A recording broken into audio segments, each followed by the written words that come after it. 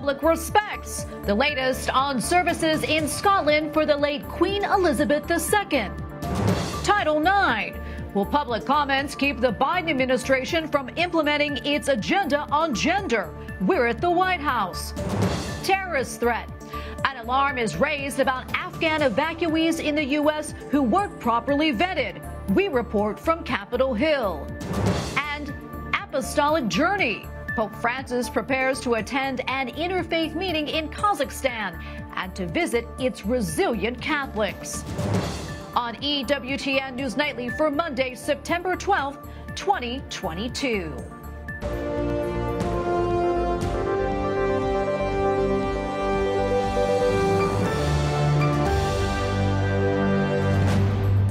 Thank you so much for being with us tonight on this feast of the Holy Name of Mary. I'm Tracy Sabol. Pope Francis is among those paying tribute to a missionary sister who was murdered by terrorists in Mozambique last week. Sister Maria de Coppi served in the country for nearly 60 years. Yesterday, the Holy Father prayed for the missionary. Also, at yesterday's Angelus address, the Holy Father noted that God suffers if we are distant and waits for our return. Sempre Dio ci aspetta a braccia aperte. Pope Francis reminded the faithful that God is our Father who comes in search of us whenever we are lost. The Holy Father also encouraged Catholics to show others the same closeness, compassion, and tenderness that God has for us. Meantime, Pope Francis's 38th apostolic journey is set to start tomorrow. The Holy Father will tra travel to Kazakhstan for his third international trip in 2022. The Pope visited the Basilica of St. Mary Major in Rome today ahead of his visit. The Central Asian country is home to a small Catholic community, just 1% of the population. EWTN Vatican producer Alexey Gotovskiy has more.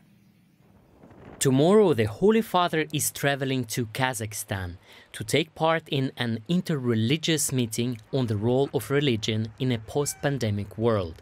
He is also going to visit a small Catholic minority, which is just 1% out of nearly 19 million inhabitants who mostly profess Islam.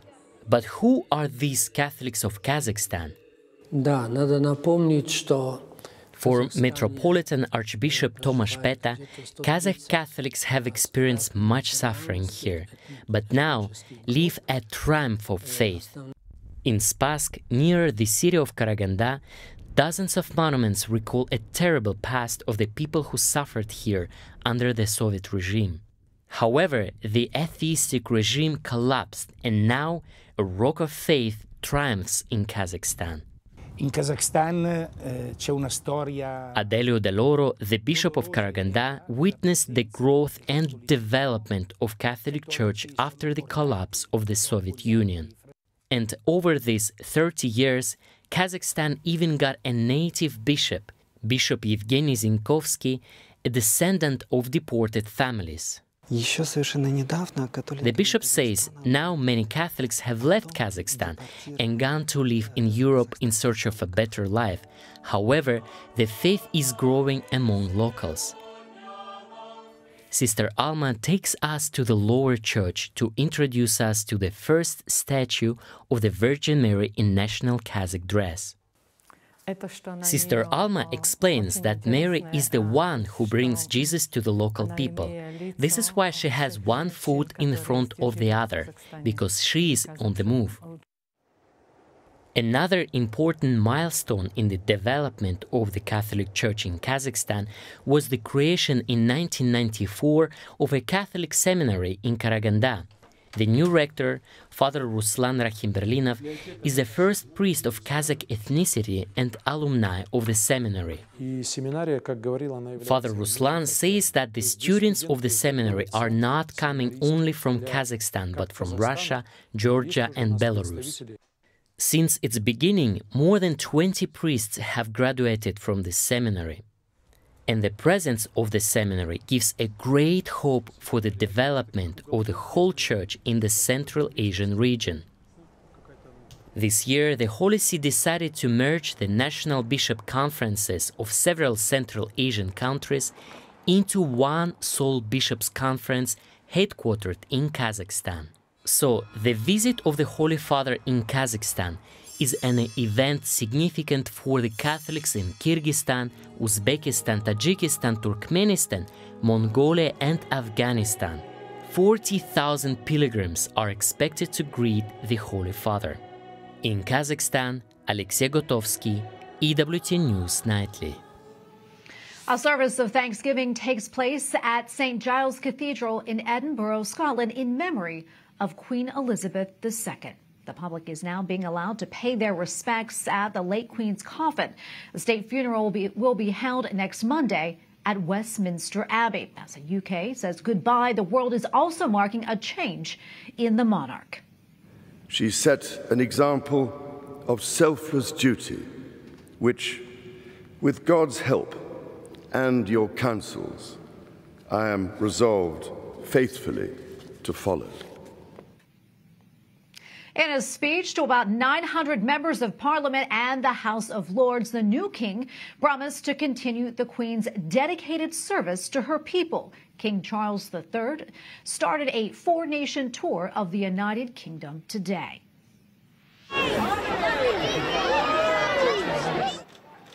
And this weekend, a surprise public reunion for the Prince and Princess of Wales and the Duke and Duchess of Sussex. Prince William and Prince Harry, along with their wives, Catherine and Meghan, greeted people who were in Windsor to remember the Queen. Tensions between the brothers have reportedly remained high since Harry and Meghan stepped down from senior royal duties. While the Biden administration creates more controversy today with its handling of gender issues and abortion. But President Joe Biden's day started with another topic, infrastructure. He says money is on the way for America's airports. White House correspondent Owen Jensen reports. Owen? Tracy, President Biden flew to Boston today touting the bipartisan infrastructure law. First destination, Logan International Airport. Before heading for Boston, President Joe Biden tells reporters We're going to be spending a lot of money. We're going to get it done quickly. And we're going to go all through America making our airports the best in the world again. After that, on to the Kennedy Library. And at the library, we're going to be talking about my commitment to defeating cancer. This is a all the way back in 62, the moonshot was announced. For, we're have a moonshot for cancer, for real. We're going to cure cancer over time. I'm going to lay out how we're going to do that. Meanwhile, today is the last day to submit comments to the Department of Education for the controversial proposal to add gender identity and sexual orientation to Title IX. The U.S. Conference of Catholic Bishops calls on Americans to respond. Writing, this will require schools to comply with gender ideology affecting many of the day to day activities of these institutions. Schools could be punished for distinguishing between boys and girls in locker rooms and dorms. Adding, the regulation's definition of discrimination on the basis of sex sex would also include termination of pregnancy. This could be used to impose requirements that promote abortion.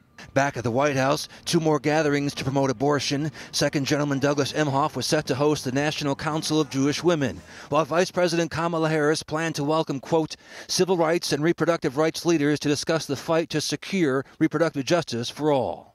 Pro life groups continue to push back. Students for Life recently wrote an open letter to the vice president saying if pro abortion politicians are going to promise to protect women, they need to protect all women, including those who are pro life and preborn. Now, back to Title IX, U.S. bishops also say the proposed regulation just goes too far and that fairness between the sexes does not mean acting as if boys and girls are absolutely the same. At the White House, Owen Jensen, EWTN News Nightly.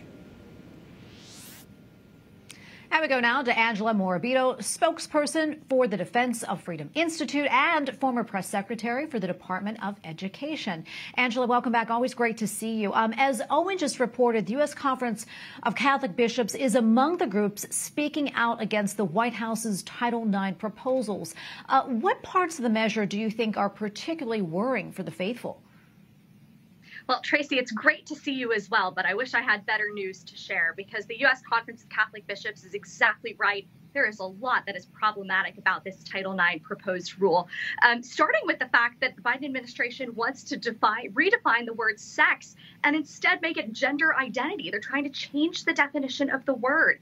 Their proposed rule also strips away some really important due process protections for all students, and it would require schools to step in when a student or, or staff member is refusing to use someone's preferred pronoun repeatedly. Uh, it, it turns gender ideology into law if this thing ends up ends up going forward. And Angela, I understand uh, during the public comments period ending today that there have been more than 175,000 public comments so far. Uh, clearly, it seems this is something that's a concern to a lot of people. Um, let's talk more about that. And also, what impact, if any, do you think these comments will have? Well, the American people are fired up about this. In fact, I just checked before we went live, and it's now at over 184,000 comments. So people are, are, really interested in this, and it's it's fascinating to me in part because I served in the Trump administration, and when we announced the 2020 Title IX rule, which is currently in force we broke the record. We got 124,000 comments, and the mainstream press called us radicals. They called it extreme. They called it a bunch of names I will not repeat on television. But this thing was just everywhere. And now that record has been shattered by the Biden and Cardona rule, and the mainstream press seemingly has nothing to say about it. But the American public sees what's in this rule, and they are having none of it. And to answer the second part of your question, the department is required by law to consider the comments that it receives. So when your comment gets sent to the Department of Education, they have to take a look at it and they have to address these comments in the preamble to the final rule. So knowing that parents and families are, are so invested in getting rid of this rule's misguided provisions uh, actually gives me a lot of hope that we could get some substantial concessions from the administration, uh, hoping that they will back off many of the provisions of what they've proposed. And Angela, we have probably about a minute or so left, but I know there's a case that you have been following uh, about a teacher in Ireland who recently was suspended for language that he used in the classroom. Uh, can you tell us more about that and why you say this sort of case could soon happen here? Again, it's, tr- it's tremendously sad. There's a teacher in Ireland who was suspended when he repeatedly questioned a policy that would have required school staff to use students' preferred names and pronouns. He said that violated his, his right to religious freedom, though he's course, abroad in, in, in, Ireland. But the school ultimately suspended him. He was enjoined by a court not to go on school property. He did anyway in protest, and he is now behind bars as a result. In fact, just a couple hours ago, he he lost uh, an effort in court today to try and get himself out of prison.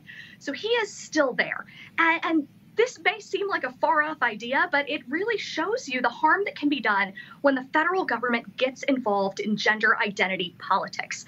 I think this is a, a horrifying example of, of just why small government is so important and why the federal government really should have no role in things like names and pronouns.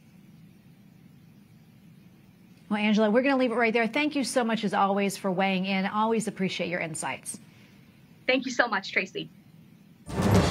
Coming up, a report about the distribution of abortion pills to teenagers without parental consent. And a whistleblower warns about evacuees from Afghanistan now in the U.S. who could be potential terrorists.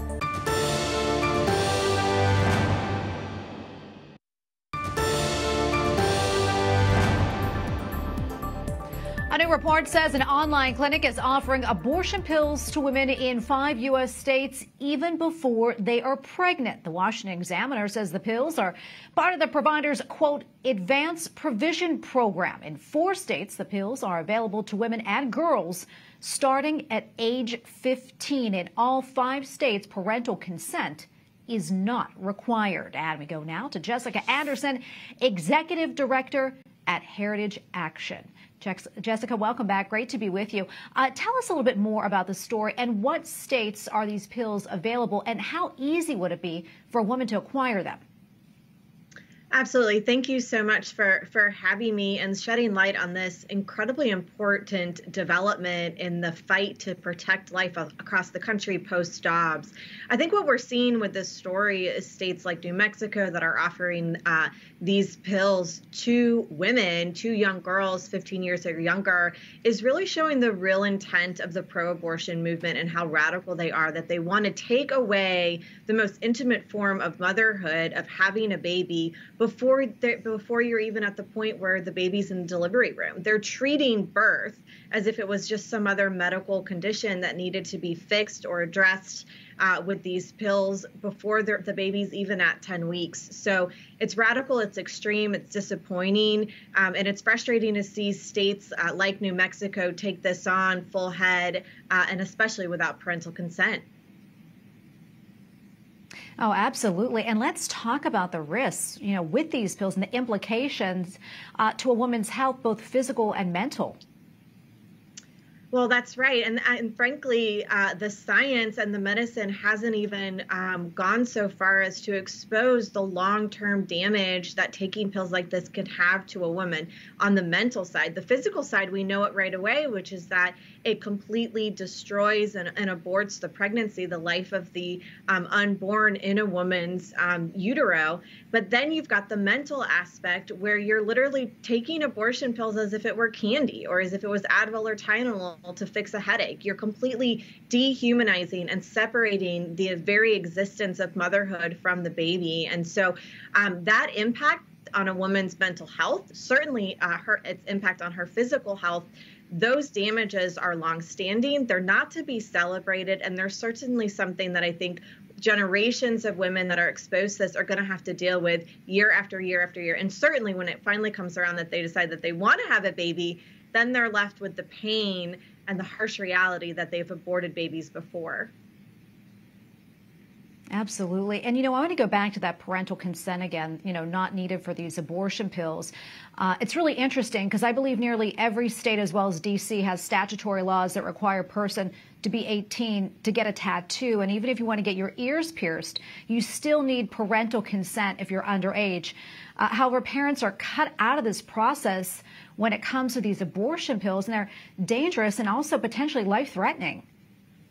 Yeah, that's right. You know, the movement from the left to further separate parents from their children, we're seeing it in the issue of life and the pro abortion advocates. We're seeing it with transgender treatments and grooming of children in schools. We're seeing it with critical race theory. I mean, it, it's, it's across the social and cultural spectrum right now. And it really just goes back to the fact that the state wants to own your kids they don't want parents making decisions in concert for what's best for their children. And so when you remove parental consent from one of the most intimate choices, like having a child and bringing a child into this world, you're further separating that linkage of family. And as we all know, families really are the bedrock to American society. They're one of our most important American institutions. And it's incredibly disconcerting that you would have a you would have healthcare companies under the guise of women's health go in and, and basically promote these um, abortifeed pills to young children as young as 15 without parental consent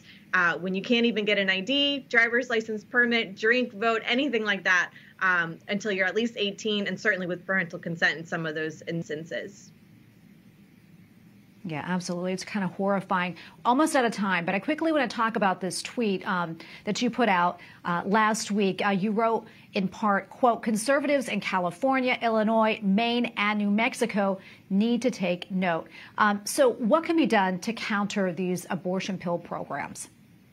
Well, state lawmakers and certainly governors can actually put the restraints um, in their state to require parental consent or to flat out say that these bills cannot be sent in, in state post offices or delivered to minors or even outlawed in the state. And we've started to see some success from this with conservative lawmakers at the state level, conservative governors pushing back on the abortion pill giants. And I think a lot of the pro abortion movement is actually going to head in this direction with telemedicine and sending these pills across state lines through the U.S. Postal Service. And so we're really calling on all conservative lawmakers to stand up for the unborn, to stand up for true women's health care for, for women everywhere, support life protections at the state level, especially in this post Dobbs era with more and more states that are grappling with are they going to be part of the abortion regime and the abortion giant?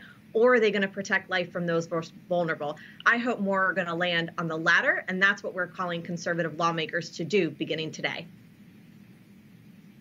Well, Jessica, thank you so much for coming on and talking to us about all this. We really appreciate it. Thanks for having me.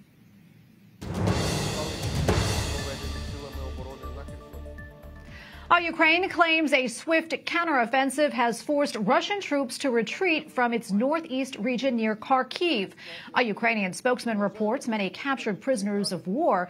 Meanwhile, Russia says its second day of shelling has caused heavy damage in the same area.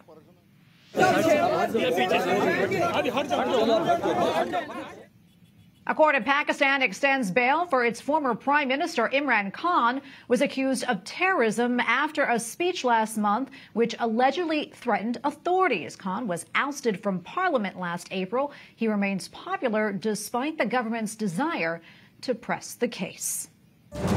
Up next, a dire warning about unvetted Afghan evacuees in the U.S. who pose a potential terrorist threat. Plus, America remembers the solemn anniversary of the 9 11 terror attacks.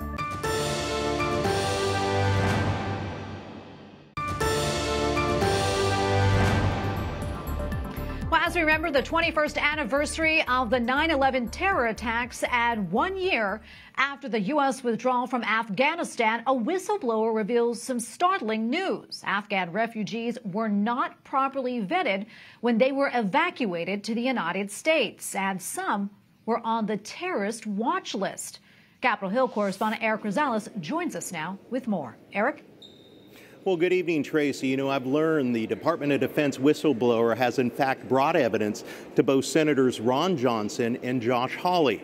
Now, some of that evidence has in fact been turned over to the Department of Defense Inspector General. Now, Senator Hawley says he reviewed that evidence and he found it just shocking.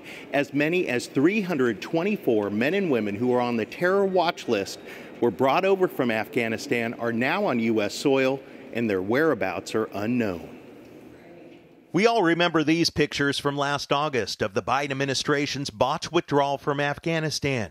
Those trying to get out of the country ran alongside or even clinged on to military transport planes leaving Kabul. Some held on to the planes while they took off, eventually falling to their deaths. In this letter obtained by EWTN News Nightly, Senators Josh Hawley and Ron Johnson asked acting DoD Inspector Sean O'Donnell to investigate allegations that, quote, 324 individuals evacuated from Afghanistan were allowed to enter the United States, despite appearing on the DoD's biometrically enabled watch list. The list identifies individuals determined by analysis to be threats or potential threats to national security, including known suspected terrorists. The whistleblower also gave evidence showing, quote, political appointees at the National Security Council and DoD instructed agency personnel to cut corners when processing evacuees in Afghanistan. We've just been lied to by this administration over and over. They said, oh, we followed the vetting procedures. No, they haven't. Uh, they said we did in person interviews. No, they didn't in the vast majority of cases. We know that for a fact now. And now it seems that uh, there are potentially hundreds of terrorists. Senator Hawley tells me Congress needs to act now, and the FBI, who's in charge of finding these known terrorists, must chase down these individuals. We could literally have another 9 11. You think about it, it only took a handful of hijackers for 9 11. I mean, we're talking about 300 plus people. Uh, it's just unconscionable. As we know, today is uh, Afghanistan is back under Taliban rule, and that means that women and children's rights have been stripped, in particular young girls. They're not allowed to go to school anymore. Now, Senator Hawley, along with 22 other Republicans, have introduced another bill to create a task force within the State Department to try and get the Americans that are still there in Afghanistan out of the country. It's estimated around 200 are still in Afghanistan. At the Capitol, Eric Rosales, EWTN, News Nightly. And finally, tonight, as mentioned, yesterday marked the 21st anniversary of the 9 11 terrorist attacks. The nation honored the nearly 3,000 lives lost on that tragic day, including a message from President Joe Biden. A moment of silence in New York City on a somber Sunday, 21 years after the September 11th terrorist attacks when Al Qaeda hijackers flew airlines into the Twin Towers, the Pentagon, and a field near Shanksville, Pennsylvania, killing nearly 3,000 people. It should not take another tragedy to unite our nation. At the September 11th memorial in New York City, family and friends read the names of their loved ones Howard Lee Kane, Jennifer Lynn Kane. Firefighter Vincent D. Kane, Engine 22. While at the Pentagon, President Joe Biden attended a wreath laying ceremony where he paid tribute to those killed there. This is a day not only to remember, but a day of renewal and resolve for each and every American. The president also referenced the drone strike, which killed Ayman al Zawahiri earlier this year, saying the al Qaeda terrorist leader would never threaten the American people again. The president also shared what he sees as the greatest lesson learned from 9 11. Regain the light by reaching out to one another and finding something all too rare a true sense of national unity. To me, that's the greatest lesson of September 11. On the anniversary of a day we will never forget.